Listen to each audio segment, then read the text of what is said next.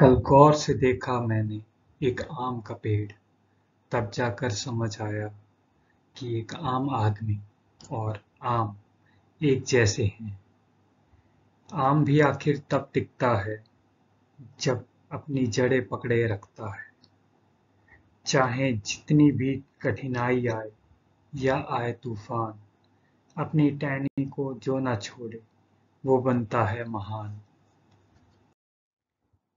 ज़िंदगी भी कुछ ऐसी ही है, जब तक आपके आपके परिवार से, दोस्तों से, रिश्तेदारों से जुड़े रहते हैं तार, तब तक ज़िंदगी की हर मुश्किल हो जाती है आसानी से पार।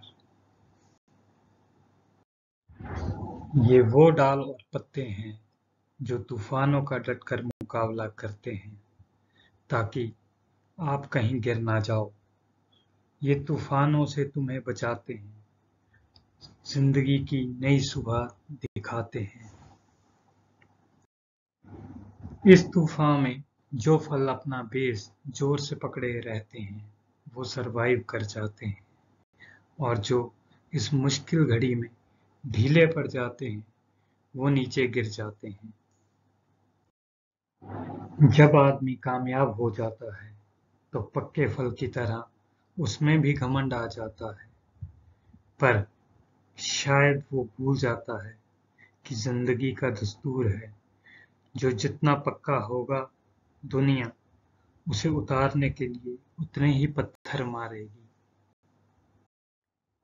जो फल पकने के बाद अपनी बुनियाद भूल जाता है, वो फल जब ज़मीन पर गिरता है तो फट जाता है। और ना तो फिर वो खाने के काम आता है और ना भगवान को चढ़ाने के काम आता है।